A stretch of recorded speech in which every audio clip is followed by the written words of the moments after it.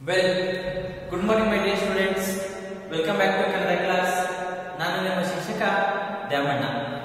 ನನ್ನೆಲ್ಲ ಪ್ರೀತಿಯ ವಿದ್ಯಾರ್ಥಿಗಳಿಗೆ ಬೆಳಗಿನ ಶುಭೋದಯ ನಿಮಗೆಲ್ಲರಿಗೂ ಕನ್ನಡ ತರಗತಿಗೆ ಆತ್ಮೀಯವಾದಂತಹ ಸ್ವಾಗತ.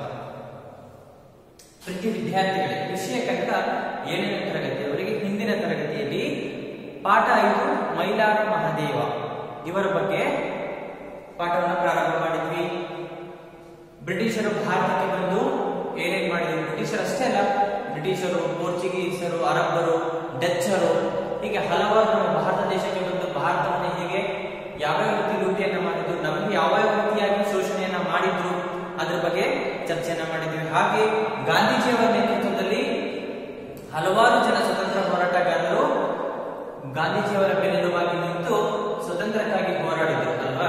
ಅವರಲ್ಲಿ ಸಹ ಮೈಲಾರ ಮಹಾದೇವ ಎನ್ನುವ ವ್ಯಕ್ತಿ ಒಬ್ಬರು ಪಾಠವನ್ನ ಪ್ರಾರಂಭ ಮಾಡಿದ್ವಿ. ಪಾಠ ಅರ್ಧ ಆಗಿತ್ತಲ್ವಾ? ಇಂದಿನ ತರಗತಿಯಲ್ಲಿ ನಾವು ಅದರ ಮುಂದಿನ ಭಾಗವನ್ನ ನೋಡ್ತಾ ಹೋಗೋಣ, ಆಯ್ತಾ? ಮೊದಲನೇದಾಗಿ ಪಾಠದಲ್ಲಿ ಬರುವಂತಹ ಪದಗಳ ಅರ್ಥವನ್ನ ನೋಡ್ತಾ ಹೋಗೋಣ. ಅರ್ಥ ಆಗ್ತಿದ್ಯಾ? ಬನ್ನಿ, ನೋಡೋಣ. ರೈಟ್ ಪದಗಳ ಅರ್ಥ. ಅರ್ಥ ಆಗ್ತಿದ್ಯಾ?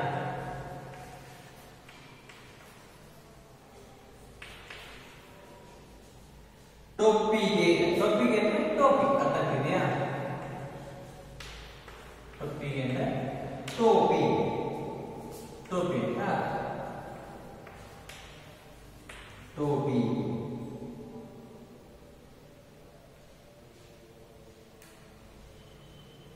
नेक्स्ट कितनी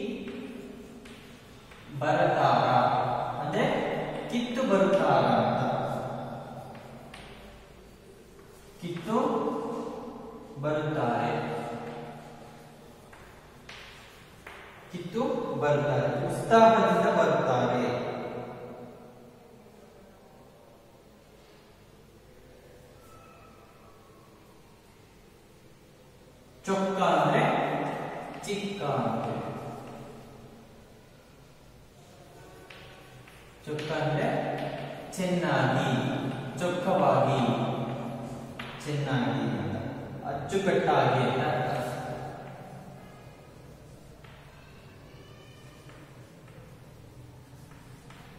ಅಚ್ಚುಕಟ್ಟಾಗಿ ಚಂದ ಚಂದ ಅಂದ್ರೆ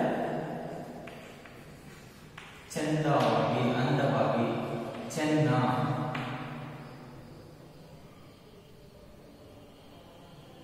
ಚೊಕ್ಕ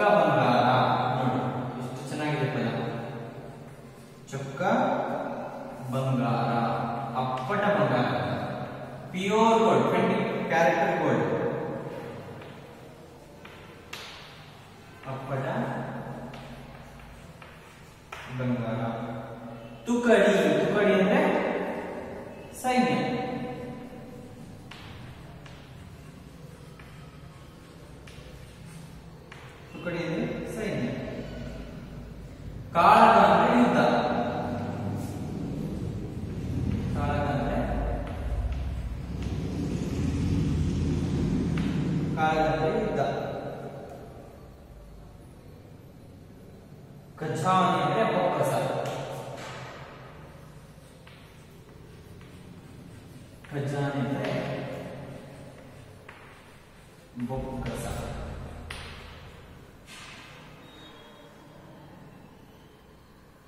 ಅರ್ಥಾಗ್ತಿದ್ಯಾ ನೆಕ್ಸ್ಟ್ ಈ ಪಾಠದ ಘಟಕಾಂಶಗಳನ್ನು ನಾವು ನೋಡ್ತಾ ಹೋದಾಗ ಏನು ಘಟಕಾಂಶಗಳು? ನೋಡಿ.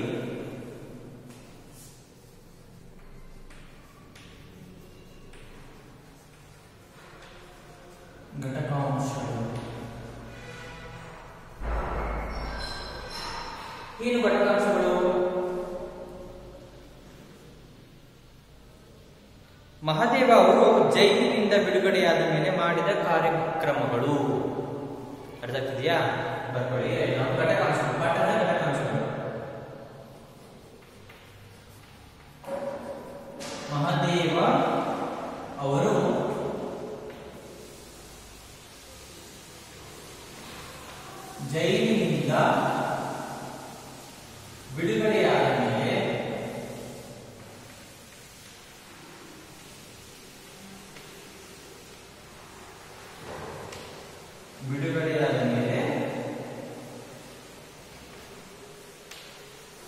ಮಾಡಿದ ಕಾರ್ಯಕ್ರಮ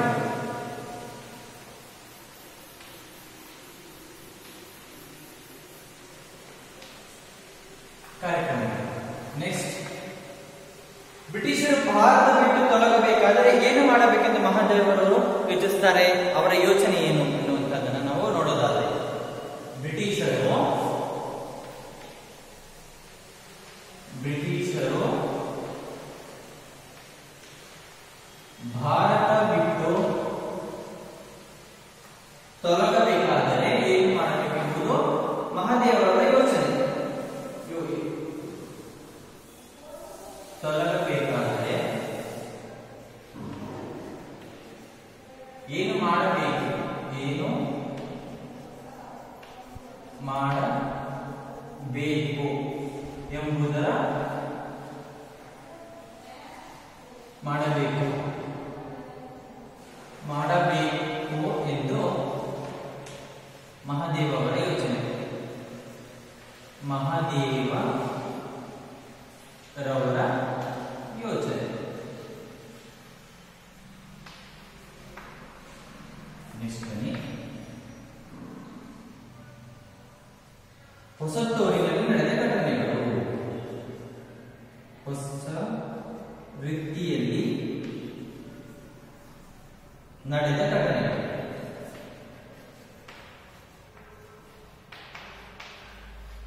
ಘಟನೆಗಳು ಇವತ್ತಿನ ತರಗತಿ ನಾವು ಈ ಮೂರು ಘಟಕಾಂಶದ ಬಗ್ಗೆ ಚರ್ಚೆಯನ್ನ ಮಾಡ್ತಾ ಪಾಠ ಮಾಡ್ತಾ ಮುಂದುವರೆಯೋಣ. ಅದಕ್ಕಿಂತ ಮುಂಚಿತವಾಗಿ ಹಿಂದಿನ ತರಗತಿಯಲ್ಲಿ ಏನಾಗಿತ್ತು ಎನ್ನುವುದರ ಬಗ್ಗೆ ಕೆಲವೊಂದಿಷ್ಟು ಪ್ರಶ್ನೆಗಳನ್ನು ಕೇಳೋದ್ರ ಮೂಲಕ ಇಂದಿನ ತರಗತಿಯನ್ನು ಪ್ರಾರಂಭ ಮಾಡೋಣ. ಓಕೆನಾ? ಮೋಟೆಬೆನ್ನೂರು ಎಂಬ ಹಳ್ಳಿ ಯಾವ ಜಿಲ್ಲೆಯಲ್ಲಿದೆ? ಮೋಟೆಬೆನ್ನೂರು ಎಂಬ ಹಳ್ಳಿ ಯಾವ ಜಿಲ್ಲೆಯಲ್ಲಿದೆ ಅಂತ ಹೇಳಿ ಒಂದು ಮೊದಲನೆಯ ಮೊದಲನೆಯ ಪ್ರಶ್ನೆ ಅಲ್ವಾ? ಮೋಟೆಬೆನ್ನೂರು ಇರುವುದು ಯಾವ ಜಿಲ್ಲೆ? ಹಾವೇರಿ ಜಿಲ್ಲೆಯಲ್ಲಿರುವುದು. ಅರ್ಥ ಆಗ್ತಿದೆಯಾ? ಮೋಟೆಬೆನ್ನೂರು ಎಂಬುದು ಹಾವೇರಿ ಜಿಲ್ಲೆಯಲ್ಲಿದೆ. ಅರ್ಥ ಆಗ್ತಿದೆಯಾ? ಯಾವ ಬಟ್ಟೆಗಳ ಬಗ್ಗೆ ಯಾವ ಬಟ್ಟೆಗಳ ವಿಚಾರ ಯಾವಾಗಲೂ ಮೈಲಾರ ಅವರ ಮನಸ್ಸಿನಲ್ಲಿ ಗುಣಗುಡುತ್ತಿತ್ತು ಯಾವ ಬಟ್ಟೆಗಳ ವಿಚಾರ ಯಾವಾಗಲೂ ಮೈಲಾರ ಅವರ ಮನಸ್ಸಿನಲ್ಲಿ ಗುಡುಗುತ್ತಿತ್ತು ಗುಣಗು ಗುಣಗುತ್ತಿತ್ತು ಖಾದಿ ಬಟ್ಟೆ ಅಲ್ವಾ? ಖಾದಿ ಬಟ್ಟೆ ಬಗ್ಗೆ ಅವರ ಮನಸ್ಸಲ್ಲಿ ಯಾವಾಗಲೂ ಗುಣುತ್ತಾ ಇತ್ತು? ಇಷ್ಟ ಆಗಿತ್ತಲ್ವಾ ಇಲ್ಲಿವರೆಗೂ? ಸರಿ, ಬನ್ನಿ, ಪಾಠವನ್ನು ನೋಡ್ತಾ ಹೋಗೋಣ, ಆಯ್ತಾ? ಹಾವೇರಿ ಜಿಲ್ಲೆ ಮೋಟೆಬೆನ್ನೂರು ಎಂಬ ಹಳ್ಳಿಯಲ್ಲಿ ಮೈಲಾರ ಮಹಾದೇವರು ಜನಿಸ್ತಾರೆ. ಅರ್ಥ ಆಗ್ತಿದ್ಯಾ? ಅವರು ಎಂಟು ಅಥವಾ ಹತ್ತನೇ ವಯಸ್ಸಿನಲ್ಲಿ ಒಂದು ಭಾಷಣವನ್ನು ಕೇಳ್ತಾ ಇರ್ತಾರೆ. ಅಲ್ಲಿ ಒಂದು ವಿದೇಶಿ ವಸ್ತುಗಳ ಧಿಕ್ಕಾರ ನಡೀತಾ ಇರ್ತದೆ. ಆ ಸಂದರ್ಭದಲ್ಲಿ ಮೈಲರ್ ಮಹಾದೇವ್ ಅವರು ಸಹ ಪಾಲ್ಗೊಂಡಿದ್ದಾರೆ ಸಾವಿರದ ಒಂಬೈನೂರ ಹನ್ನೊಂದರಂದು ಮೋಟೆಬೆನ್ನೂರಿನಲ್ಲಿ ಜನಿಸ್ತಾರೆ ತಂದೆ ಮಾತಾಡಪ್ಪ, ತಾಯಿ ಬಸಮ್ಮ. ಇವರು ಸಹ ಬಸಮ್ಮನು ಸಹ ದೇಶ ಪ್ರೇಮಿಯಾಗಿರ್ತಾರೆ ಅರ್ಥ ಆಗ್ತಿದೆಯಾ ಇವರ ಪ್ರಾಥಮಿಕ ವಿದ್ಯಾಭ್ಯಾಸವನ್ನ ಮೋಟೆಬೆನ್ನೂರಲ್ಲಿ ಮುಗಿಸ್ತಾರೆ. ಮುಂದಿನ ವಿದ್ಯಾಭ್ಯಾಸಕ್ಕಾಗಿ ಎಲ್ಲಿ ಹಂಸ ಬಾರಿ ಹೋಗ್ತಾರಲ್ವಾ? ಅಲ್ಲಿ ಯಾಕೋ ಓದಕ್ಕೆ ಇಷ್ಟ ಆಗಲ್ಲ. ಅವ್ರ ಮನಸ್ಸಲ್ಲಿ ಒಂದು ಖಾದಿ ಬಟ್ಟೆ, ಈ ಒಂದು ಬಟ್ಟೆ ಬಗ್ಗೆ ಯಾವಾಗ ಇರ್ತಾ ಇರ್ತಾರಲ್ವಾ ಅದರ ಕುರಿತು ಪ್ರಚಾರ ಮಾಡಬೇಕು ಅಂತ ಹೇಳಿ ಅವರಿಗೆ ಉತ್ಸಾಹ ಬರುತ್ತೆ. ಆ ಆಸೆ ಒಂದು ಹೆಚ್ಚಾಗುತ್ತೆ. ಇಲ್ಲಿವರೆಗೂ ಆಗುತ್ತಲ್ವಾ? ಬನ್ನಿ, ಮುಂದಿನ ನೋಡ್ತಾ ಹೋಗೋಣ. ಮಹಾದೇವ ಹನ್ನೆರಡು ಹನ್ನೆರಡು ಹದಿಮೂರರ ಹರೆಯ ವಿಜಯಪುರ ಜಿಲ್ಲೆಯಲ್ಲಿ ಕಾಲದಲ್ಲಿ ಎಂಬ ಒಂದು ಗ್ರಾಮವಿದೆ. ಅಲ್ಲಿ ಆ ಕಾಲದಲ್ಲಿ ಖಾದಿ ಬಟ್ಟೆಗಳನ್ನು ತಯಾರು ಮಾಡುತ್ತಿದ್ದರು ಮಹಾದೇವ ಅಲ್ಲಿಗೆ ಹೋದ ಖಾದಿಯನ್ನು ತಯಾರಿಸುವುದು ಹೇಗೆ ಎಂದು ತಿಳಿದುಕೊಂಡು ಖಾದಿಯನ್ನು ಹತ್ತು ಊರೂರು ತಿರುಗಿ ಮಾರಾಟ ಮಾಡಿದ. ಖಾದಿ ಬಳಕೆಯನ್ನು ಕುರಿತು ಪ್ರಚಾರವನ್ನು ನಡೆಸಿದ. ಮಹಾದೇವ ಅವರಿಗೆ ಸಬರಮತಿ ಆಶ್ರಮದಿಂದ ಕರೆ ಬಂದಿತು. ಮಹದೇವ ಅಲ್ಲಿಗೆ ಹೋದರು. ಆ ವೇಳೆಗೆ ಪ್ರಸಿದ್ಧ ದಂಡಿ ಸತ್ಯಾಗ್ರಹ ನಡೆಯುತ್ತಿತ್ತು. ಗಾಂಧೀಜಿ ಅವರನ್ನು ದಂಡಿ ಯಾತ್ರೆಯಲ್ಲಿ ಹೆಜ್ಜೆ ಹಾಕಿದರು ದಂಡಿ ಸತ್ಯಾಗ್ರಹದಲ್ಲಿ ಭಾಗವಹಿಸಿದ್ದವರಿಗೆ ಸೆರೆಮನೆ ವಾಸದ ಶಿಕ್ಷೆಯಾಯಿತು ಮಹಾದೇವ ಆರು ತಿಂಗಳು ಸೆರೆಮನೆಯಲ್ಲಿ ಕಳೆದರು. ನೋಡಿ, ಮಹಾದೇವ ಅವರಿಗೆ ಎಷ್ಟು ವಯಸ್ಸು? ಹನ್ನೆರಡು ಅಥವಾ ಹದಿಮೂರು ಅಷ್ಟೇ. ಎಷ್ಟು ವಯಸ್ಸು ಅವರಿಗೆ? ಹನ್ನೆರಡು ಅಥವಾ ಹದಿಮೂರು. ಈ ವಯಸ್ಸಿನಲ್ಲಿ ಅವರು ಮಾಡ್ತಾರೆ? ವಿಜಯಪುರ ಜಿಲ್ಲೆಯ ಕಲಾದಿಗಿ. ಯಾವ ಯಾವ ಗ್ರಾಮ ಕಲಾ ದಗಿ ಎನ್ನುವ ವಿಜಯಪುರ ಜಿಲ್ಲೆಯಲ್ಲಿರುವಂತಹ ಒಂದು ವಿಜಯಪುರ ಈಗಿನ ಬಿಜಾಪುರ ಗೋಲ್ ಗುಂಬಜ್ ಇದೆಯಲ್ಲ ಗೋಲ್ ಗುಂಬಜ್ ಎಲ್ಲರೂ ಗೊತ್ತಲ್ವಾ ಆ ಗೋಲ್ ಗುಂಬಜ್ ಇರುವ ಸ್ಥಳ ಯಾವುದು? ವಿಜಯಪುರ ಅಥವಾ ಬಿಜಾಪುರ ಅಂತ ಹೇಳಿ ಕರೀತಾರೆ. ಈ ವಿಜಯಪುರದಲ್ಲಿ ಇರುವಂತಹ ಒಂದು ಕಲಾದಗಿ ಎನ್ನುವಂತಹ ಒಂದು ಗ್ರಾಮದಲ್ಲಿ ಆಗಿನ ಕಾಲದಲ್ಲಿ ಖಾದಿ ಬಟ್ಟೆಯನ್ನು ನೇಯ್ತಾ ಇದ್ರಂತೆ. ಮಹಾದೇವ ಅಲ್ಲಿಗೆ ಹೋಗಿ, ಎಲ್ಲಿ ಹೋಗ್ತಾರೆ ಮಹಾದೇವ? ವಿಜಯಪುರ ಜಿಲ್ಲೆಯ ಕಾದಿಗೆ ಹಳ್ಳಿಗೆ ಹೋಗಿ, ಅಲ್ಲಿರುವಂತಹ ಖಾದಿ ಬಟ್ಟೆಗಳನ್ನು ಹೇಗೆ ತಯಾರಿಸುವುದಂತ ಹೇಳಿ ತಿಳ್ಕೊಂಡು ಖಾದಿ ಬಟ್ಟೆಯನ್ನು ಅಲ್ಲಿಂದ ಕೊಂಡ್ಕೊಂಡು ಬಂದು ಊರು ಊರು ತಿರುಗಿ ನಾನು ತಿರುಗಿ ಖಾದಿ ಬಟ್ಟೆಯನ್ನ ಮಾರಾಟ ಮಾಡಿ ಖಾದಿ ಬಳಕೆಯ ಬಗ್ಗೆ ಪ್ರಚಾರವನ್ನ ಮಾಡಿದಂತೆ. ಆ ಖಾದಿ ಬಟ್ಟೆಯನ್ನ ಮಾರಾಟವನ್ನ ಮಾಡುವ ಜೊತೆಗೆ ಆ ಖಾದಿ ಬಟ್ಟೆಯ ಮಹತ್ವವನ್ನ ಎಲ್ಲ ಜನರು ತಿಳಿಸಿದಂತೆ ನೋಡಿ, ಅಷ್ಟರಲ್ಲಿ ಮಹಾದೇವರಿಗೆ ಎಲ್ಲಿಂದ ಕರೆ ಬರುತ್ತೆ? ಸಬರಮತಿ ಆಶ್ರಮದಿಂದ. ಯಾವ ಆಶ್ರಮದಿಂದ ಸಬರಮತಿ ಸಬರಮತಿ ಎನ್ನುವಂತಹ ಒಂದು ಆಶ್ರಮದಿಂದ ಕರೆ ಬರುತ್ತೆ ಮಹಾದೇವ ಅಲ್ಲಿ ಎಲ್ಲಿ ಹೋಗ್ತಾರೆ ಈ ಸಬರಮತಿ ಆಶ್ರಮಕ್ಕೆ ಹೋಗ್ತಾರೆ ಅರ್ಥಕ್ರಿಯಾ ಆ ವೇಳೆ ಅಲ್ಲಿ ಒಂದು ಪ್ರಸಿದ್ಧವಾದಂತಹ ಸತ್ಯಾಗ್ರಹ ನಡೀತಾ ಇರ್ತದೆ ಯಾವುದು ದಂಡಿ ಸತ್ಯಾಗ್ರಹ ಯಾವ ಸತ್ಯಾಗ್ರಹ ದಂಡಿ ಸತ್ಯಾಗ್ರಹ ನಡೀತಾ ಇರ್ತದೆ ಆವತ್ತಿ ಗಾಂಧೀಜಿಯವರೊಡನೆ ಈ ಮಹಾದೇವ ಏನ್ ಮಾಡ್ತಾರೆ ಗಾಂಧೀಜಿಯವರೊಡನೆ ದಂಡಿ ಸತ್ಯಾಗ್ರಹಕ್ಕೆ ಪಾಲ್ಗೊಳ್ತಾರೆ ಈ ದಂಡಿ ಸತ್ಯಾಗ್ರಹ ಅಥವಾ ಉಪ್ಪಿನ ಸತ್ಯಾಗ್ರಹವನ್ನ ಯಾರ್ಯಾರು ಮಾಡಿರ್ತಾರಲ್ಲ ಅವರಿಗೆಲ್ಲ ಸೆರೆಮನೆ ವಾಸ ಶಿಕ್ಷೆ ಆಯಿತು ನೋಡಿ ಯಾರ್ಯಾರು ಸೆರೆಮನೆ ವಾಸ ಅಂದ್ರೆ ಜೈಲು ಶಿಕ್ಷೆ ಗೊತ್ತಾಗ್ತಿದ್ಯಾ ಈ ಜ ಯಾರ್ಯಾರು ಸತ್ಯಾಗ್ರಹದಲ್ಲಿ ಪಾಲ್ಗೊಂಡಿರ್ತಾರೋ, ಯಾರು ಗಲಾಟೆ ದಂಬಿಯನ್ನ ಮಾಡ್ತಾರೋ ಅವರಿಗೆಲ್ಲರಿಗೂ ಆಗಿನ ಕಾಲದಲ್ಲಿ ಜೈಲಿಗೆ ಹಾಕಿದ್ರಂತೆ ಹಾಗಾಗಿ ಇವರಿಗೂ ಸಹ ಜೈಲು ವಾಸ ಆಯ್ತಂತೆ. ಮಹಾದೇವ ಅವರು ಆರು ತಿಂಗಳ ಕಾಲ ಈ ಒಂದು ಜೈಲಿನಲ್ಲಿ ಇದ್ರಂತೆ. ನೆಕ್ಸ್ಟ್ ಬನ್ನಿ ನೋಡೋಣ. ದಂಡಿ ಯಾತ್ರೆ ಮುಗಿದು ಮಹಾದೇವ ಹುಟ್ಟೂರಿಗೆ ವಾಪಸ್ ಬಂದರು. ಆ ಹೊತ್ತಿಗಾಗಲೇ ದಂಡಿ ಯಾತ್ರೆಯಲ್ಲಿ ಭಾಗವಹಿಸಿದ ಕರ್ನಾಟಕದ ಸ್ವಾತಂತ್ರ್ಯ ಸೇನಾನಿ ಎಂಬುದಾಗಿ ಅವರಿಗೆ ಹೆಸರು ಬಂದಿತ್ತು. ಊರಿನಲ್ಲಿ ಮಹಾದೇವ, ಮಹದೇವ ಅವರಿಗೆ ಅದ್ಧೂರಿ ಸ್ವಾಗತ ಸಿಕ್ಕಿತು. ಮಹದೇವ ತಮ್ಮ ಹೆಂಡತಿ ಸಿದ್ದಮ್ಮ ಅವರನ್ನು ಸಿದ್ಧಮತಿ ಎಂದು ಕರೆಯುತ್ತಿದ್ದರು.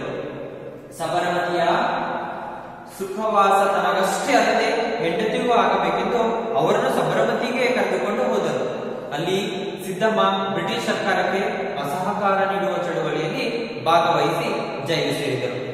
ಊರಿಗೆ ಬಂದಿದ್ದ ಮಹದೇವ ಇಲ್ಲಿ ಅಸಹಕಾರ ಚಳುವಳಿಯಲ್ಲಿ ಭಾಗವಹಿಸಿ ಜೈಲು ಸೆರೆಯಾದರು ಹಿಂಡಲಾಗ ಜೈಲಿನಲ್ಲಿ ಜೈಲಿನಲ್ಲಿದ್ದಾಗ ಗಾಂಧೀಜಿ ಅವರು ಅಲ್ಲಿಗೆ ಭೇಟಿ ನೀಡಿ ಮಹಾದೇವರನ್ನು ಕಂಡು ಅವರನ್ನು ಪ್ರೋತ್ಸಾಹಿಸಿದರು. ನೋಡಿ ದಂಡಿ ಯಾತ್ರೆ ಮುಗಿತು ದಂಡಿ ಯಾತ್ರೆ ಮುಗಿಸ್ಕೊಂಡು ಮಹಾದೇವರು ಎಲ್ಲಿಗೆ ಬರ್ತಾರೆ? ಅವರ ಹುಟ್ಟೂರಿಗೆ ವಾಪಸ್ ಬರ್ತಾರೆ. ಆ ಹೊತ್ತಿಗಾಗಲೇ ಮಹಾದೇವ ಸ್ವತಂತ್ರ ಹೋರಾಟಗಾರರು ಒಬ್ಬ ಸ್ವತಂತ್ರ ಸೇನಾನಿ ಅಂತ ಹೇಳಿ ಹೆಸರುವಾಸಿಯಾಗಿದ್ದ. ಆಗಿನ ಕಾಲದಲ್ಲಿ ರೇಡಿಯೋ, ನ್ಯೂಸ್ ಪೇಪರ್ ಎಲ್ಲ ಬರ್ತಿತ್ತು. ಹಾಗಾಗಿ ಮಹಾದೇವ ಒಬ್ಬ ಸ್ವತಂತ್ರ ಸೇನಾನಿ, ಅವನ ಒಬ್ಬ ಸ್ವತಂತ್ರ ಹೋರಾಟಗಾರ ಅಂತೇಳಿ ಎಲ್ಲೆಡೆ ಪ್ರಸಿದ್ಧ ಆಗಿತ್ತು ಮಹಾದೇವ ಜೈಲೋತ್ಸವ ಮುಗಿಸ್ಕೊಂಡು ಊರೊಳಗೆ ಬರ್ತಿದ್ದಕ್ಕೆ ಅವನಿಗೆ ಅದ್ಧೂರಿಯಾದಂತಹ ಸ್ವಾಗತವನ್ನ ಮಾಡಿದಂತೆ ಅವನಿಗೆ ಒಂದು ಊರಿನಲ್ಲಿ ಮಹಾದೇವರಿಗೆ ಅದ್ಭುತವಾದಂತಹ ಸ್ವಾಗತ ಸಿಕ್ಕಿತು. ಮಹಾದೇವ ತಮ್ಮ ಹೆಂಡತಿಯನ್ನ ಸಿದ್ದಮ್ಮ, ಮಹಾದೇವರ ಹೆಂಡತಿ ಹೆಸರೇನು? ಸಿದ್ದಮ್ಮ ಮಹಾದೇವ ಅವರ ಹೆಂಡತಿ ಹೆಸರು ಸಿದ್ದಮ್ಮ ಹಾಗಾಗಿ ಅವ್ರನ್ನ ಸಿದ್ಧಮತಿ ಅಂತ ಹೇಳಿ ಪ್ರೀತಿಯಿಂದ ಮಹಾದೇವರು ಏನಂತಾರೆ, ಅವ್ರನ್ನ ಸಿದ್ದಮತಿ ಅಂತ ಹೇಳಿ ಕರೀತಾರೆ. ಮಹಾದೇವರಿಗೂ ಒಂದು ಆಸೆ ಇತ್ತು. ನನಗೆ ಈ ಸಬರಮತಿ ಆಶ್ರಮದಲ್ಲಿ ಸಿಕ್ಕಂತಹ ಸಕಲ ಸೌಭಾಗ್ಯ ಸುಖವನ್ನು ನನ್ನ ಹೆಂಡತಿಗೆ ಸಿಗ್ಬೇಕು ಅಂತ ಹೇಳಿ ಮಹಾದೇವರಿಗೆ ಅನಿಸಿತು ಹಾಗಾಗಿ ಈ ಮಹಾದೇವರು ಏನ್ ಮಾಡ್ತಾರೆ ತಮ್ಮ ಹೆಂಡತಿ ಸಿದ್ದಮ್ಮನನ್ನ ಸಬರಮತಿ ಆಶ್ರಮ ಸೇರಿಸ್ತಾರೆ. ಅಲ್ಲಿ ಬ್ರಿಟಿಷರಿಗೆ ಅಸಹಕಾರ ಚಳುವಳಿಯಲ್ಲಿ ಇವರು ಭಾಗವಹಿಸ್ತಾರೆ ಭಾಗವಹಿಸಿ ಮತ್ತೆ ಇವರು ಮಹಾದೇವರ ಹೆಂಡತಿಯು ಸಹ ಜೈನವಾಸವನ್ನ ಅನುಭವಿಸ್ತಾರೆ ಇವರು ಸಹ ಜೈಲಿಗೆ ಹೋಗ್ತಾರೆ.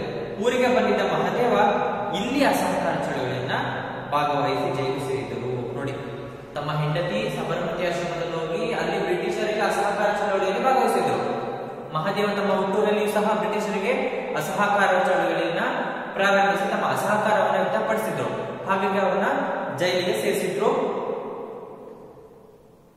ಹಿಂಡಲಗ ಎಂಬ ಜೈಲಿನಲ್ಲಿದ್ದಾಗ ನೋಡಿ ಯಾವ ಜೈಲಿನಲ್ಲಿ ಎಂದರೆ ಮಹದೇವರು.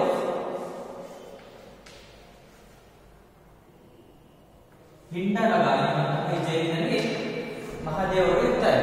ಯಾಕಂತಂದ್ರೆ ಅವಾಗ ಗಾಂಧೀಜಿಯವರು ಈ ಹಿಂಡಲಗ ಜೈಲಿಗೆ ಹೋಗಿ ಮಹಾದೇವರಿಗೆ ಪ್ರೋತ್ಸಾಹವನ್ನು ನೀಡ್ತಾರೆ. ಈ ಇದೇ ರೀತಿ ಚಳವಳಿಯನ್ನು ಮಾಡಿ ಮುಂದುವರಿಸಿ ನೀವು ಬ್ರಿಟಿಷರಿಗೆ ಅಸಹಕಾರವನ್ನು ತೋರಿಸಿ ಇದೇ ರೀತಿಯಾಗಿ ಮಾಡಿ ಅವರಿಗೆ ಪ್ರೋತ್ಸಾಹವನ್ನ ನೀಡ್ತಾರೆ. ಇದೇ ರೀತಿಯಾದಂತಹ ಚಳುವಳಿಗಳನ್ನ ಸತ್ಯಾಗ್ರಹಗಳನ್ನ ನಮ್ಮ ಹೋರಾಟ ನಿರಂತರವಾಗಿ ಇರಬೇಕು ಬ್ರಿಟಿಷರ ವಿರುದ್ಧವಾಗಿ ಅಂತ ಹೇಳಿ ಗಾಂಧೀಜಿಯವರು ಏನ್ ಮಾಡ್ತಾರೆ? ಮಹಾದೇವ ಅವರಿಗೆ ಪ್ರೋತ್ಸಾಹವನ್ನ ನೀಡ್ತಾರೆ. ಬನ್ನಿ ನೆಕ್ಸ್ಟ್ ಮಹಾದೇವ ಅವರಿಗೆ ಜೈಲಿನಿಂದ ಬಿಡುಗಡೆ ಆಯಿತು ಹಲವಾರು ಬಾರಿ ಬಾರಿ ಜೈಲಿಗೆ ಹೋಗಿದ್ದರಿಂದ ದೇಹದ ಆರೋಗ್ಯದ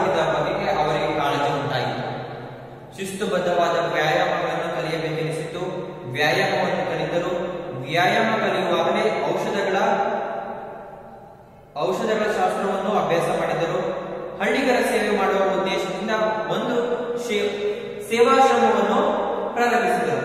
ಗಂಡ ಹೆಂಡತಿ ಇಬ್ಬರು ಸೇವಾಶ್ರಮದ ಸಂಚಾಲಕರಾಗಿ ಚರಕದಿಂದ ನೂಲು ತೆಗೆಯುವುದು, ಪ್ರಕೃತಿ ಚಿಕಿತ್ಸೆ, ವ್ಯಾಯಾಮ ಮುಂತಾದವುಗಳನ್ನು ಹಳ್ಳಿಯ ಜನರಿಗೆ ಅಭ್ಯಾಸ ಮಾಡಿಸಿದರು.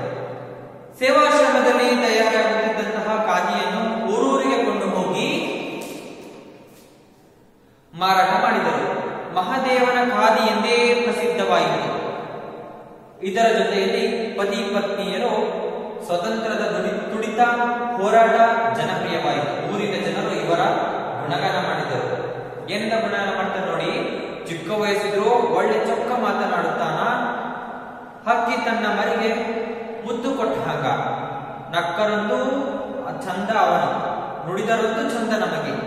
ಸಿಕ್ಕಿದ್ದಲ್ಲೋ ಇಂಥ ಚೊಕ್ಕ ಬಂಗಾರದಂಥವ ಅಂತ ಹೇಳಿ ಊರಿದವರು ಮಹಾದೇವ ಮತ್ತು ಮಹಾದೇವ ಹೆಂಡತಿಯವರಿಗೆ ಹೊಗಳ್ತಾ ಇದ್ದಾರೆ ನೋಡಿ, ಮಹಾದೇವ, ಮಹಾದೇವರಿಗೆ ಯಾವ ಜೈಲಿದ್ದಾರೆ ಹಿಂದಗಾಲ ಎನ್ನುವಂತಹ ಜೈಲಿಂದ ಬಿಡುಗಡೆ ಆಗುತ್ತೆ ಅವರಿಗೆ, ಬಿಡುಗಡೆ ಆದ ನಂತರ ಅವರಿಗೆ ಏನಾಗುತ್ತೆ? ಹಲವಾರು ಬಾರಿ ಜೈಲಿಗೆ ಹೋಗೋದ್ರಿಂದ ದೇಹದ ಆರೋಗ್ಯ ಸ್ವಲ್ಪ ಏರುಪೇರು ಆಗುತ್ತೆ. ಹಾಗಾಗಿ ಅವರು ವ್ಯಾಯಾಮ ಕಲಿತಾರೆ ವ್ಯಾಯಾಮ ಕಲಿಯೋದ್ರ ಜೊತೆಗೆ ಕೆಲವೊಂದು ಔಷಧಿಗಳನ್ನು ಸಹ ಕಲಿತ ಒಂದು ಸೇವಾಶ್ರಮವನ್ನು ಪ್ರಾರಂಭ ಮಾಡ್ತಾರೆ.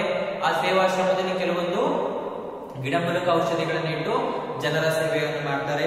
ಗಂಡ ಹೆಂಡತಿ ಇಬ್ಬರು. ಆಮೇಲೆ ನೂಲನ್ನು ತಯಾರಿಸಿ, ಖಾಲಿ ಬಟ್ಟೆಗಳನ್ನು ತಯಾರಿಸಿ, ಗಂಡ ಹೆಂಡತಿ ಇಬ್ಬರು ಸಹ ಸೇವಾಶ್ರಮದಿಂದ ಔಷಧಿಗಳನ್ನ ತಯಾರು ಮಾಡುವಂಥದ್ದು, ಯೋಗ ಕಲಿಕೆಗಳನ್ನು, ಯೋಗಾಭ್ಯಾಸಗಳನ್ನ, ಮತ್ತೆ ತಯಾರಿಸಿದಂತಹ ಖಾದಿ ಬಟ್ಟೆಗಳನ್ನ ಊರೂರಿಗೆ ಹೋಗಿ ಕೊಂಡು ಮಾರ್ತಾ ಇದ್ರಂತೆ. ಹಾಗಾಗಿ ಅವ್ರನ್ನ ಆ ಒಂದು ಬಟ್ಟೆಗಳಿಗೆ ಮಹಾದೇವನ ಖಾದಿ ಮಹಾದೇವನ ಖಾದಿ ಅಂದ್ರೆ ಆ ಒಂದು ಬಟ್ಟೆ ಪ್ರಸಿದ್ಧ ಆಯ್ತಂತೆ ಇದರ ಜೊತೆಯಲ್ಲಿ ಪತಿ ಪತ್ನಿಯರ ಸ್ವತಂತ್ರ ಪ್ರೇಮ ಸ್ವತಂತ್ರವಾದಂತಹ ತುಡಿತ ಊರಿನವರಿಗೆಲ್ಲರಿಗೂ ಇಷ್ಟ ಆಗಿ ಊರಿನವರು ಎಂತ ಹೊಗಳ್ತಿರ್ತಾರೆ ಚಿಕ್ಕ ವಯಸ್ಸಿದ್ರು ಒಳ್ಳೆ ಚೊಕ್ಕ ಮಾತನಾಡುತ್ತಾನ, ಹಕ್ಕಿ ತನ್ನ ಮರಿಗೆ ಮುದ್ದು ಕೊಟ್ಟಂಗ. ನಕ್ಕರೊಂದು ಚಂದ ಅವನು, ನುಡಿದರೊಂದು ಚಂದ ನಮಗೆ. ಸಿಕ್ಕಿದ್ದಲ್ಲೋ ಇಂಥ ಚೊಕ್ಕ ಬಂಗಾರದಂಥವ ಅಂತ ಹೇಳಿ ಊರಿನ ಜನ ಅವರಿಗೆ ಹೊಗಳ್ತಾ ಇದ್ರಂತೆ. ನೋಡಿ, ಸ್ವತಂತ್ರ ಹೋರಾಟ ದಿನ ದಿನ ಬೆಳೆಯುತ್ತಾ ಹೋಯಿತು. ಸಾವಿರದ ಒಂಬೈನೂರ ನಲವತ್ತ ಎರಡರಲ್ಲಿ ಗಾಂಧೀಜಿಯವರು ಬ್ರಿಟಿಷರೇ ಭಾರತ ಬಿಟ್ಟು ತೊಲಗಿ ಎಂಬ ದೇಶದೆಲ್ಲೆಡೆ ಗಾಂಧೀಜಿಯವರ ಘೋಷಣೆಗೆ ಭಾರತೀಯ ಬೆಂಬಲ ದೊರೆಯಿತು. ದಕ್ಷಿಣ ಭಾಗದ ಈ ಚಳುವಳಿಗೆ ಮೈಲಾರ ಮಹಾದೇವ ನೇತೃತ್ವ ವಹಿಸಿದರು. ಹಳ್ಳಿ ಹಳ್ಳಿಗಳಲ್ಲಿ ತಿರುಗಿ ಗಾಂಧೀಜಿಯವರ ಘೋಷಣೆಯನ್ನು ಪ್ರಚಾರ ಮಾಡಿದರು. ಅವರ ಮಾತುಗಳು ದೇಶಭಕ್ತಿಗಳನ್ನು ಬಡಿದೆಬ್ಬಿಸಿದವು. ನೋಡಿ, ಸ್ವತಂತ್ರ ಹೋರಾಟ ಹೀಗೆ. ಗಾಂಧೀಜಿಯವರು ಹಲವಾರು ಚಳುವಳಿಯನ್ನು ಮಾಡ್ತಾರೆ. ಹಲವಾರು ಸ್ವತಂತ್ರ ಸೇನಾನಿಗಳು ಸ್ವತಂತ್ರ ಹೋರಾಟಗಾರರು ಬಂದು ಗಾಂಧೀಜಿಯವರ ಜೊತೆ ಕೈಗೂಡಿಸ್ತಾರೆ ಭಾರತದಲ್ಲಿ ಎಲ್ರಿಗೂ ಸಿಟ್ಟು ಆಕ್ರೋಶ ಎಲ್ಲ ಬರುತ್ತೆ ಬ್ರಿಟಿಷರು ಏಕಾಂತ ಮಾಡಿ ಭಾರತ ಬಿಟ್ಟು ಓಡಿಸ್ಬೇಕು ಅಂತ ಹೇಳಿ ಅವಾಗ ಏನ್ ಮಾಡ್ತಾರೆ ಗಾಂಧೀಜಿಯವರು? ಸಾವಿರದ ಒಂಬೈನೂರ ನಲವತ್ತೆರಡರಲ್ಲಿ ಎಷ್ಟರಲ್ಲಿ ಸಾವಿರದ ಒಂಬೈನೂರ ನಲವತ್ತ ಎರಡರಲ್ಲಿ ಗಾಂಧೀಜಿಯವರು ಬ್ರಿಟಿಷರೇ ಭಾರತ ಬಿಟ್ಟು ತೊಲಗಿ ಎನ್ನುವಂತಹ ಒಂದು ಘೋಷಣೆಯನ್ನ ಮಾಡ್ತಾರೆ. ದೇಶದೆಲ್ಲೆಡೆ ಗಾಂಧೀಜಿಯವರ ಈ ಒಂದು ಕೂಗಿಗೆ ಎಲ್ಲರೂ ಧ್ವನಿಗೂಡಿಸಿ ಸಹಕಾರವನ್ನು ನೀಡ್ತಾರೆ. ಹಾಗಾಗಿ ಹಳ್ಳಿ ಹಳ್ಳಿಗೆ ಗಾಂಧೀಜಿಯವರು ತಿರುಗಿ ಘೋಷಣೆಯನ್ನ ಮಾಡಿ ಅವರ ಪ್ರಚಾರವನ್ನ ಮಾಡ್ತಾರೆ. ಬನ್ನಿ. ಬ್ರಿಟಿಷರು ಭಾರತ ಬಿಟ್ಟು ತೊಲಗಬೇಕಾದರೆ ಅವರ, ಅವರು ನಡೆಸುತ್ತಿರುವಂತಹ ಆಡಳಿತಕ್ಕೆ ಧಕ್ಕೆ ಉಂಟು ಮಾಡಿ ಅವರಿಗೆ ಆಡಳಿತ ನಡೆಸುವುದು ಅಸಾಧ್ಯವಿಲ್ಲ ಎನಿಸಬೇಕು. ಸಾರಿ ಸಾಧ್ಯವಿಲ್ಲ ಎನಿಸಬೇಕು. ಮಹಾದೇವ ತಮ್ಮ ಸಂಗಡಿ, ಸಂಗಡಿಗರೊಂದಿಗೆ ಇಂತಹ ಸಾಹಸಕ್ಕೆ ಅಣಿಯಾದರು. ರೈಲು ಓಡಾಟದ ಮೇಲೆ ಅವು, ಇವರು ಗಮನವಿಟ್ಟರು. ಸವಣೂರು ಎಂಬಲ್ಲಿ ರೈಲು ನಿಲ್ದಾಣವನ್ನು ಬ್ರಿಟಿಷ್ ಪೊಲೀಸರಿಗೆ ಗೊತ್ತಾಗದಂತೆ ಸುಟ್ಟು ಹಾಕಿದರು. ಹೊನ್ನತ್ತಿ ಎಂಬಲ್ಲಿ ರೈಲು ನಿಲ್ದಾಣವನ್ನು ಬ್ರಿಟಿಷರಿಗೆ ಗೊತ್ತಾಗದಂತೆ ಸುಟ್ಟು ಹಾಕಿದರು. ಹೊನ್ನತ್ತಿ ಎಂಬಲ್ಲಿ ಪೊಲೀಸರ ಬಂದೂಕು ಅಪಹರಿಸಿದರು. ಬಾಳೆ ಹೊಸೂರಿನ ಪೊಲೀಸ್ ಕೇಂದ್ರವನ್ನು ಸುಟ್ಟರು. ನೋಡಿ, ಬ್ರಿಟಿಷರು ಭಾರತ ತರಬೇಕಾದ್ರೆ ಅವರ ಆಡಳಿತಕ್ಕೆ ದಕ್ಷೆ ಬರಬೇಕು. ಹಾಗೆ ನಾವು ಏನಾದರೂ ಒಂದು ಬ್ರಿಟಿಷರು ಭಾರತ ಬಿಟ್ಟುಕೊಳ್ಳಬೇಕಾದ್ರೆ ಏನೇನ್ ಮಾಡಬೇಕು ಅಂತೇಳಿ ಮಹಾದೇವರು ಯೋಚಿಸ್ತಾರೆ ಅರ್ಥಾಗ್ತಿದ್ಯಾ ಅದಕ್ಕೆ ಅವರ ಆಡಳಿತ ಭಾರತದಲ್ಲಿ ಆ ಆಡಳಿತಕ್ಕೆ ಧಕ್ಕೆ ಬರಬೇಕು ಅದು ನಾವೇನ್ ಮಾಡ್ಬೇಕು?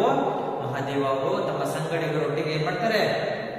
ರೈಲು ಓಡಾಟದ ಮೇಲೆ ಗಮನ ಟ್ರೈನ್ ಓಡಾಡ್ತಾ ಇರ್ತಲ್ಲ ಅದ್ರ ಮೇಲೆ ಗಮನ ಇಟ್ಟು ಸವಣೂರು ಎಂಬಂತಹ ಒಂದು ರೈಲ್ವೆ ಸ್ಟೇಷನ್ ಅನ್ನ ಸುತ್ತ ಹಾಕ್ತಾರೆ ನಂತರ ಹೊನ್ನತಿ ಎಂಬ ಪೊಲೀಸ್ ಠಾಣೆಯಲ್ಲಿ ಅಲ್ಲಿರುವಂತಹ ಬಂದೂಕುಗಳನ್ನು ಅಪಹರಿಸುತ್ತಾರೆ ಬಾಳೆ ಬಾಳೆ ಹೊಸೂರಿನಲ್ಲಿ ಪೊಲೀಸ್ ಸ್ಟೇಷನ್ ಅನ್ನ ಸುಟ್ಟು ಹಾಕ್ತಾರೆ ಅದು ಗೊತ್ತಾಗ್ತಾ ಮಹಾದೇವ ಮತ್ತು ಸಂಘಟಿಗರ ಈ ಕೃತ್ಯಗಳಿಂದ ಬ್ರಿಟಿಷ್ ಸರ್ಕಾರ ಮಹಾದೇವಪ್ಪನವರನ್ನು ಹಿಡಿದುಕೊಟ್ಟವರಿಗೆ ಬಹುಮಾನ ಘೋಷಿಸಿತು.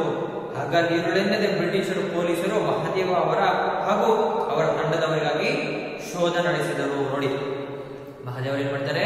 ಅವರ ತಮ್ಮ ಸಂಘಟಕರೊಟ್ಟಿಗೆ ರೈಲ್ವೆ ಸ್ಟೇಷನ್ ಅನ್ನು ಸುಟ್ಟಾಕ್ತಾರೆ ಪೊಲೀಸ್ ಸ್ಟೇಷನ್ ಅನ್ನು ಸುಟ್ಟಾಕ್ತಾರೆ ಪೊಲೀಸ್ ನಲ್ಲಿರುವಂತಹ ಬಂದೂಕುಗಳನ್ನು ಅಪ್ಪರಿಸ್ತಾರೆ. ಹಾಗಾಗಿ ಬ್ರಿಟಿಷರು ಹೆದರಿ ಬಿಟ್ಟರಂತೆ ಅದಕ್ಕೆ ಮಹಾದೇವರನ್ನು ಹುಟ್ಟುಕೊಟ್ಟವರಿಗೆ ಬಹುಮಾನವನ್ನು ಘೋಷಿಸ್ತೀನಿ, ಬಹುಮಾನವನ್ನು ಕೊಡ್ತೀವಿ ಅಂತೇಳಿ ಬ್ರಿಟಿಷ್ ಸರ್ಕಾರ ಒಂದು ಘೋಷಣೆಯನ್ನ ಜಾರಿ ಮಾಡುತ್ತೆ. ಹಾಗಾಗಿ ಹಗಲು ಇರುಳು ಮಹಾದೇವ ಮತ್ತೆ ಅವರ ತಂಡದವರನ್ನ ಹುಡ್ಕೋದಿಕ್ಕೆ ಪ್ರಾರಂಭ ಮಾಡ್ತಾರಂತೆ. ನೋಡಿ, ಬನ್ನಿ, ಮುಂದೆ ನೋಡೋಣ.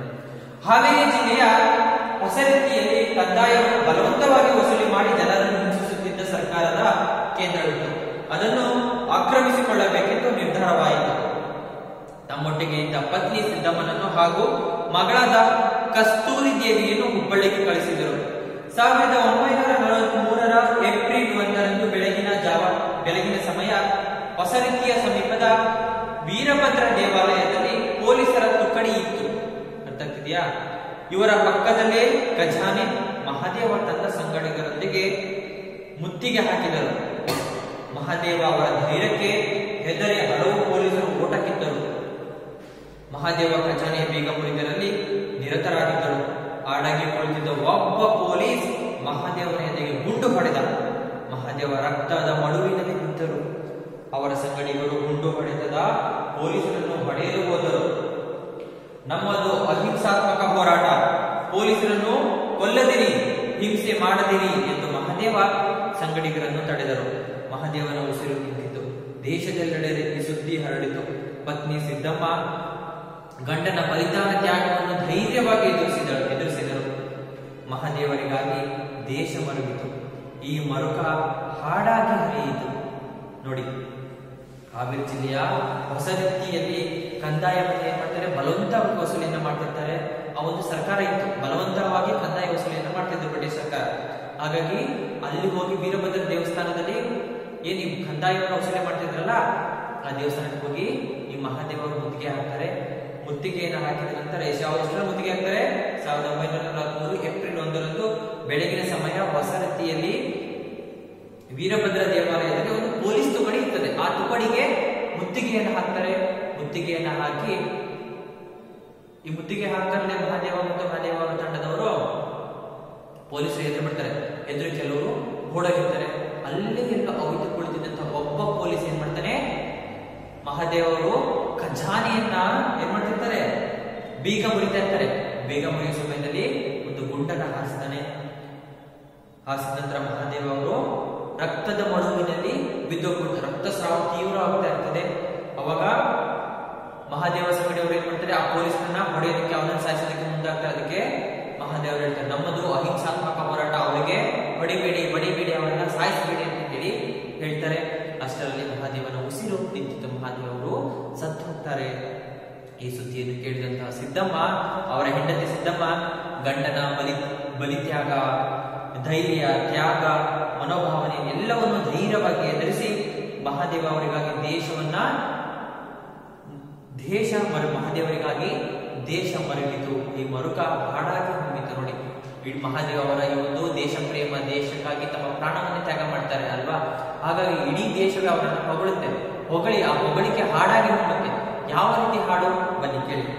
ಭಾರತ ದೇಶದ ಬಂದ ವಿಮೋಚನೆಗೆ ಭಾರಿ ಕಷ್ಟವ ಸೋಸಿದರು ತಾರುಣ್ಯವೆಲ್ಲವ ತುರಂಗದಲ್ಲಿ ಕಳೆದು ಮಡಿದ ಮಹಾಶೂರ ಮೈಲಾರರು ತುಂಟ, ತುಂಟರ ತುಂಟನು, ಬಂಟರ ಬಂಟನು ಸಾತ್ವಿಕರೊಳಗೆ ಸರದಾರ ದಿಟ್ಟನ ಹೆಸರನ್ನು ಹುಟ್ಟಿಸಿ ಕೂಸಿಗೆ ಇಟ್ಟರು ತೀರದ ಉಪಕಾರ.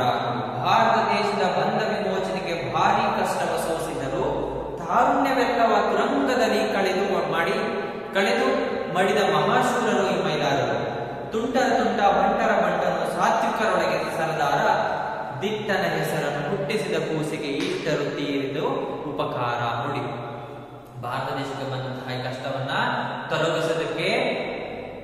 ಭಾರಿ ಕಷ್ಟವನ್ನ ಸೋಸ್ತಾರೆ. ಯಾರು ನಮ್ಮ ಈ ಮೈಲಾರ ಮಹಾದೇವರು. ತುಂಟರ ತುಂಟ ಅಂತ ಬಂಟರ ಬಂಟ ಅಂತೆ ಸಾತ್ವಿಕದಲ್ಲಿ ಸರ್ದಾರ ಅಂತೆ ಇವನ ಹೆಸರನ್ನ ಕೂಸಿಗಿಟ್ರು ಸಹ ಅವರ ಋಣವನ್ನ, ಅವರ ಒಂದು ಉಪಕಾರವನ್ನ ಮರೆಯೋದಕ್ಕೆ ಸಾಧ್ಯ ಇಲ್ಲ. ಉಪಕಾರವನ್ನ ತೀರಿಸೋದಕ್ಕೆ ಸಾಧ್ಯ ಸಾಧ್ಯ ಇಲ್ಲ ಅರ್ಥ ಪ್ರೀತಿಯ ಸ್ನೇಹಿತರೆ, ನೋಡಿ ನನಗೂ ಈ ಪಾಠ ಓದಿದ್ದಕ್ಕೆ ನನಗೂ ಸಹ ಸ್ವಲ್ಪ ದುಃಖ ಬಂತು, ಅಲ್ವಾ? ಭಾರತ ದೇಶ ಉಳಿಸೋದಕ್ಕೆ ನಾವೆಲ್ಲ ಏನು ಮಾಡಿದ? ನಮ್ಮ ರೈತರಾಗಿರ್ಬೋದು, ನಮ್ಮ ಭಾರತದ ಗಡಿ ಭಾಗದಲ್ಲಿ ಸೈನಿಕರು ಭಾರತ ದೇಶವನ್ನು ಕಾಯ್ತಿದ್ದಾರೆ. ಭಾರತ ದೇಶದ ಜನರಲ್ಲಿ, ಜನರ ಉಸಿರನ್ನು ಉಳಿಸೋದಕ್ಕೆ ನಮ್ಮ ಭಾರತ ದೇಶದಲ್ಲಿ ರೈತ ಇದ್ದಾನಲ್ವಾ ಭಾರತ ದೇಶದ ಬೆನ್ನೆಲುಬು ನಮ್ಮ ರೈತ, ಹಾಗೆ ಭಾರತ ದೇಶದ ಬೆನ್ನೆಲುಬು ಇನ್ನೊಬ್ಬ ಸೈನಿಕ ಅಲ್ವಾ? ಅವರಿಬ್ಬರು ಇಲ್ಲ ಅಂದ್ರೆ ನಮ್ಮ ಭಾರತ ದೇಶ ಇವತ್ತು ಇರ್ತಿರ್ಲಿಲ್ಲ. ನಾವು ಇನ್ನೊಬ್ಬರ ಅಡಿಯಾಳಾಗಿ ಇನ್ನೊಬ್ಬರ ಗುಲಾಮರಾಗಿ ಜೀವನವನ್ನ ಮಾಡ್ತಿದ್ವಿ. ಆಗಿನ ಕಾಲದಲ್ಲಿ. ಸಾಕಷ್ಟು ಜನ ಭಾರತ ದೇಶವನ್ನು ಉಳಿಸೋದಕ್ಕೆ ಬ್ರಿಟಿಷರನ್ನ ಭಾರತ ಬಿಟ್ಟು ಓಡಿಸೋದಕ್ಕೆ ಹಲವಾರು ರೀತಿಯಾದಂತಹ ಸಾಹಸಗಳನ್ನ, ವೀರ ಧೈರ್ಯವನ್ನ ಮಾಡಿ ಮಾಡಿ ತಮ್ಮ ಜೀವವನ್ನ, ತ್ಯಾಗವನ್ನ ಮಾಡಿದ್ದಾರೆ ಪ್ರೀತಿ ವಿದ್ಯಾರ್ಥಿಗಳೇ. ಅರ್ಥ ಈ ಪಾಠ ಇಲ್ಲಿಗೆ ಮುಕ್ತಾಯ ಆಯಿತು ನಿಮ್ಗೆ ಈ ಪಾಠ ಸಂಪೂರ್ಣವಾಗಿ ನಾನು ಅರ್ಥ ಆಯ್ತು ಅಂತ ಭಾವಿಸ್ತೀನಿ. ಇದರ ನೋಟ್ಸ್ ಅನ್ನು ನಾನು ನಿಮಗೆ ಮುಂದಿನ ತರಗತಿಯಲ್ಲಿ ಅಪ್ಲೋಡ್ ಮಾಡ್ತೀನಿ. ಓಕೆನಾ thank you thank you so much